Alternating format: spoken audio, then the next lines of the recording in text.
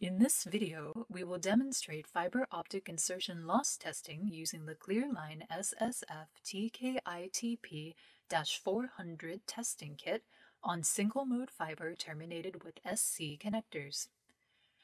Required materials are SSF-TKITP-400 kit with included light source and power meter SC to SC feed through adapter, and one simplex SC to SC single mode reference cable for single cable reference testing. Cable under test. One click type cleaner for SC connectors being the 2.5 mm part SSF 1CLK SC. Using the light source and power meter. For full information on light source and power meter functions, refer to the included instruction manual. The light source and power meter can be identified by labels on the front of each unit. The keys and indicators included on both units are the following. Power button. This also controls the auto shutdown function. Wavelength. This key activates the laser and controls wavelength in nanometers. Backlight control. This key controls the backlight mode. Backlight indicator and backlight sensor. Keys specific to the light source are frequency modulation, controls laser frequency. Rated power setting selects default output power. Output controls raise or lowers output as needed.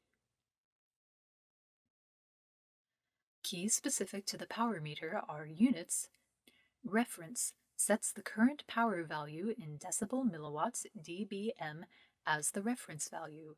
Save and delete. These keys allow you to save or delete records. Screen data. Items indicated on the light source screen are as follows. Battery level, wavelength, auto shutdown status. Auto off appears when auto shutdown is enabled. Modulated frequency, laser setting. Dashed lines indicate the laser is off. Output power. Items indicated on the power meter screen are battery level, wavelength, output power, auto shutdown status. Depending on settings, the reference value in decibel milliwatts, the data record number, frequency in hertz, or automatic wavelength status will be visible in the upper right-hand corner of the screen. Light source outputs. The light source has two labeled outputs.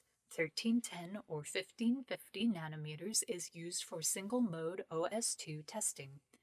850 or 1300 nanometers is used for multi-mode testing. Note that the laser does not operate at visible wavelengths.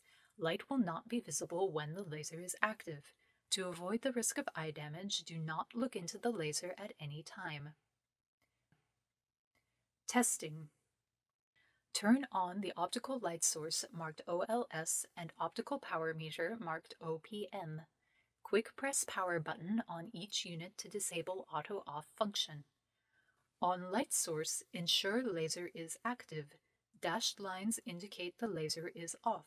To activate, press the wavelength button. Set laser to 0 Hz. On both power meter and light source for single mode testing, set wavelength to 1310 nanometers. Set units on power meter to decibel milliwatts dBm. Remove dust cap from single mode 1310 or 1550 nanometer port on light source. Remove dust cap from power meter. Remove single mode SC reference cable from bag and remove dust cap. Clean end using one click type cleaner.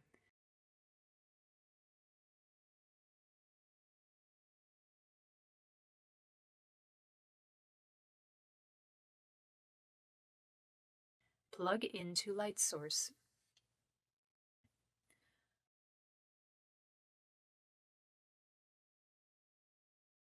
Clean other connector end and plug into power meter.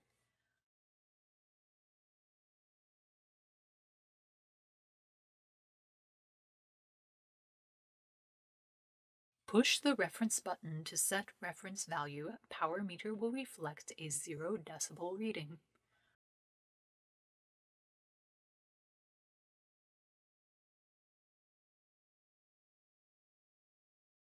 Unplug reference cable from power meter side only.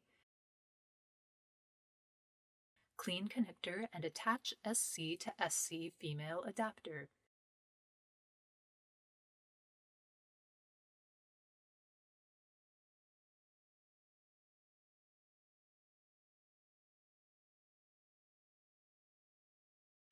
Clean end of cable under test.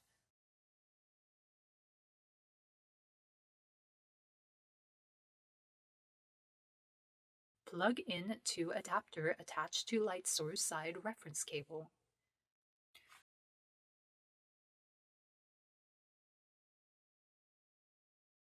Clean free end of cable under test. Plug cable under test into power meter. The new decibel value visible on the power meter screen is the test result.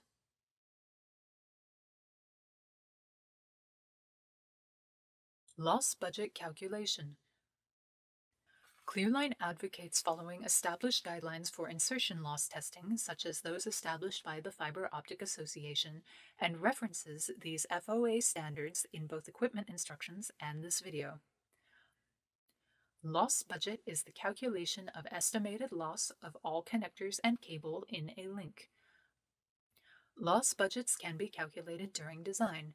In testing after installation, the actual loss is compared to the budget to ensure proper installation to industry standard.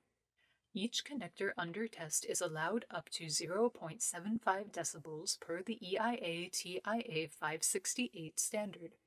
Single mode fiber loss is calculated at an average loss of 1.0 decibel per kilometer for 1310 nanometer sources, or roughly 0.1 decibels per 600 feet. For multimode fiber, the loss is about 3.0 decibels per kilometer for 850 nanometer sources, or 0.1 decibels per 100 feet. In this video, the cable under test is quite short, so the cable loss calculation is less than 0.1 decibels. The loss calculation for the connectors is 1.5 decibels or 0.75 decibels per connector times two connectors. The test result is less than 1.6 decibels, so the cable passes industry standards for link loss. Refer to the included Fiber Optic Association guidelines for further information or visit the FOA on the web for further information on fiber testing or installation.